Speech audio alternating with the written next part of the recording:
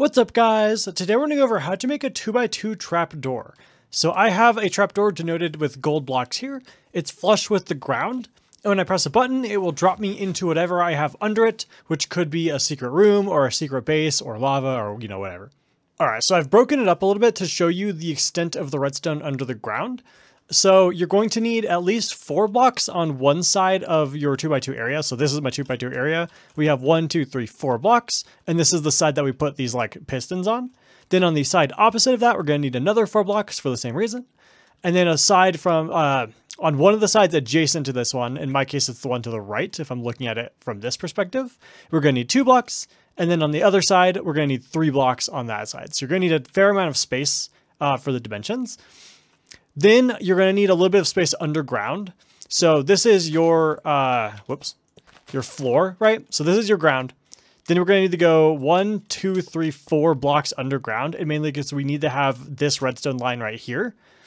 Um, if you're making a base or something and you want to make the ceiling different without breaking this and then potentially ruining it and having to come up and fix it, um, I would recommend making this block right here your ceiling so that you can change whatever block you have and not end up messing up the redstone.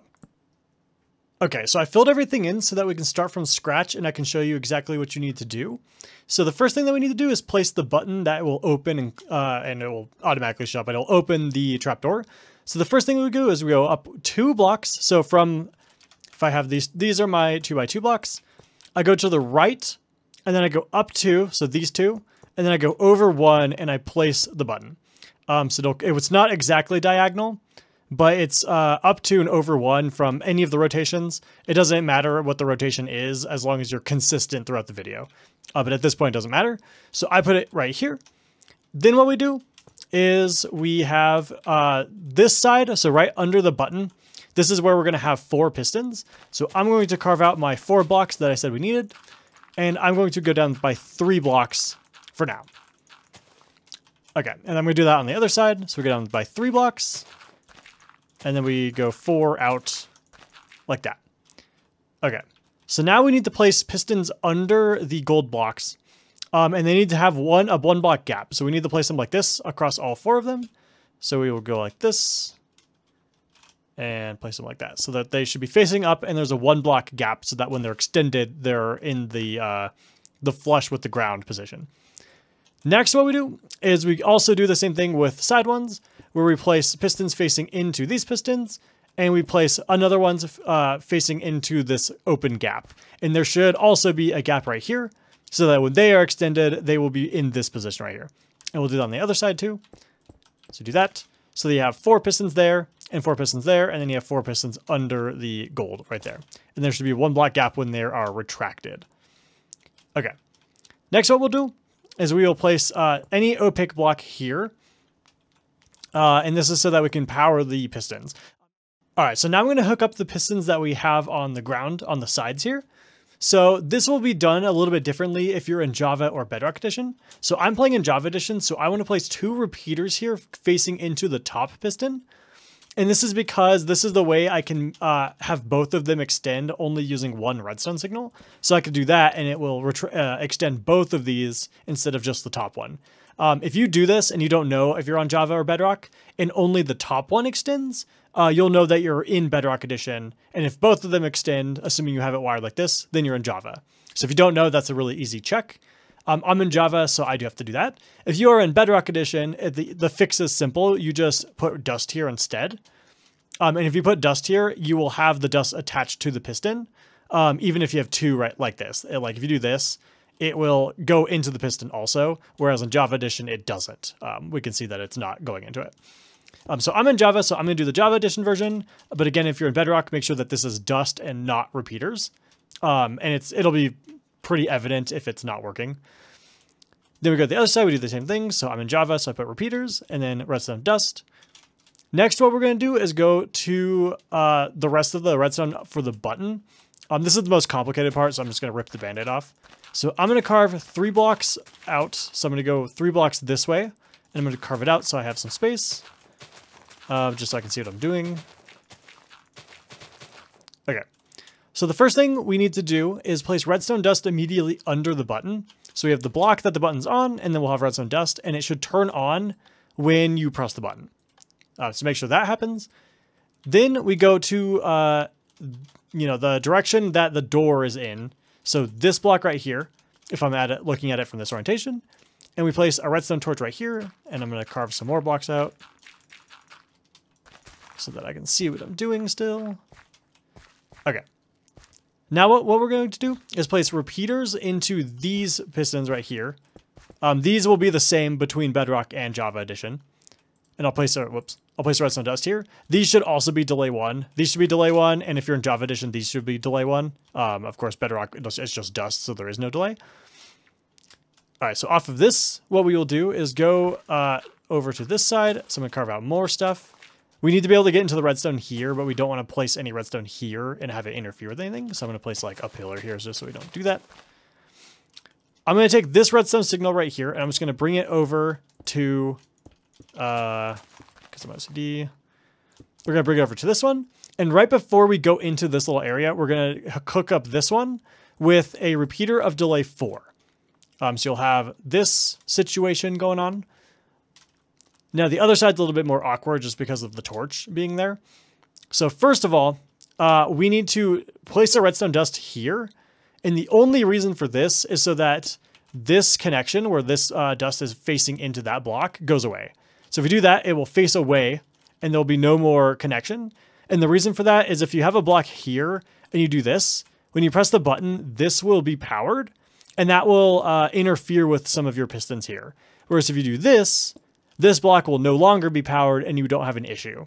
Um, so that's just an awkward thing we have to do, but we got to do it. Next, what we're going to do is place a redstone dust here that also grabs it from the torch. We're going to go down two blocks here. And this is just so that we can avoid this redstone here without having to like cut it off or something. Uh, we're just to go down and avoid it. Then we're going to bring it back up. Replace all my stuff with stone, uh, with grass, because that's needed. Not actually, it's not actually needed. Doesn't matter what block it is. Okay, and I'm to place another repeater of delay 4, same as the other side, that goes into this little redstone thing, and hook it up. Um, so they should be kind of symmetric, uh, so that we can see it. They should be symmetric on both sides, where we have the torch hooking up to redstone, and then that goes into delay 4, which goes into these pistons. That has a delay 4, which goes into these pistons. Now we have to go under it so that we can do this on the other side. So starting from here, we are just going to carve under it. Uh, so I might have, I might need to go down one more block. Maybe not though. No, it, this, this is fine. So we go under it. We place our redstone dust. I'm going to go, uh, I'm to get rid of the torch so that it like gets all the stuff out of my way. Um, so we carved this block out and I placed dust. So if I place dust here, we can see that it's attached to the one that we can't see. Then I go like uh, do that one there. So it should be immediately under these pistons. And we're just going to the other side. I can now go to the other side and I will carve out a few blocks here so that I can, of course, see what I'm doing. Then we have redstone dust here. We can have redstone dust here. And then all we have to do is place repeaters uh, right there that will face into, uh, I can replace this one repeaters that face into these pistons, um, same as on the other side. And then we just have the redstone dust attached to that. Okay. So if we press the button and we did everything correctly, we should see that it indeed, in fact opens, and then it should automatically close when the button is done. Um, I'm going to warn you, stone buttons are uh, on for less time than wooden buttons. Um, so I use the stone button, which also works fine, and a wooden button would work even better because it's going to be open for longer. Um, I just want to point that out. If you want to open for longer than this, you can use a wooden button. All right, so now we can fill everything in. Um, so the blocks that don't have any redstone on them, we can just fill in like normal. Uh, we can fill in these ones. Then we can fill in all the blocks above it. Um, if you hold shift on the, if like you hold shift down and then you right click on a repeater, you can place a block without changing the delay. Um, you can also, of course, just right click the ground like that. We can fill those in. We can fill these in. Uh, what I want to be careful though of is when you're filling it in, do not uh, make make sure you don't cut off redstone. So if I place a block here, it's going to cut off this this side, uh, and it will turn off this redstone. So when you're filling it in, be careful of that because it's not going to work anymore. If I press the button now, it's not going to pull that side out. So just be aware of that. Uh, so we go this one, and then we can do this one down here. Uh, then we can fill that one in. We can fill this one in. Fill these ones in. Uh, I can I can do it here, and I can do it here, and I can do it all the way on this one. We can do it here. We can do it here, and I'm just filling it in. Uh, it doesn't really have to be filled in, but I do it anyways. Hold Shift, and then we can fill in the rest of it. And then likewise, these ones, um, we can just place the blocks above it. And I'm doing this kind of fast. Really, the only thing you need to know is to not cut off corners like this. That is the important thing. Uh, otherwise, it doesn't matter how you do it at all.